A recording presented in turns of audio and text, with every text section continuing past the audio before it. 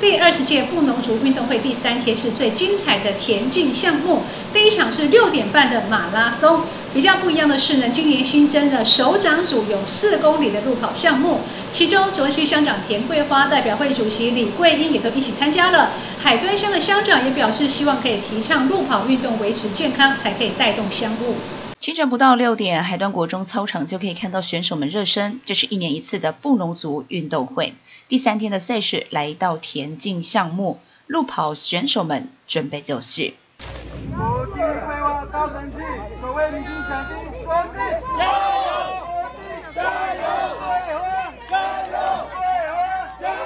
一场十六点半的马拉松赛事，比较不一样的是，今年新增了首长组的四公里路牌项目，其中卓溪乡长田桂花、代表会主席李桂英也都一起来参加。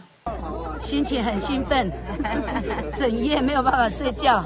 但是我觉得这个可以实施了哈，因为乡镇首长很少有机会这样子做一个这么长程的运动了哈。呃，那也为了我们的身心健康，所以非常感谢这次的我们承办的胡继志乡长，他们的团队很用心，那也让我们这些乡镇首长有这个机会。一面跑步一面交流了哈，我觉得很好，反正就是提倡运动嘛，我们不能运动就是这样的精神。OK，彻底的热身哈。平时就有路跑习惯的海端乡长胡金志表示，希望能够提倡路跑的运动，维持健康，才能有好体魄来带动乡务。是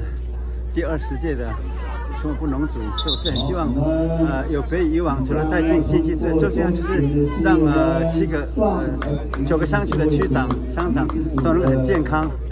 要有很健康的身体，才可以管理所有的乡务跟区务。这是我一直都想要推的理念。今年是第二十届的全国布农族运动会，由海端乡来主办，有球类运动、传统经济、五月展演、农特产品的摊位、闯关等精彩活动。全国各乡镇布农族人聚集台东海端乡共享盛举，也相约明年在纳马下区再相见。记者高双双海端乡采访报道。